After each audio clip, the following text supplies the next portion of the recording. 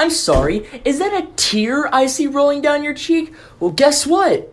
If you keep it up, I will come fucking hug you and maybe even cuddle you and remind you how beautiful and important you are.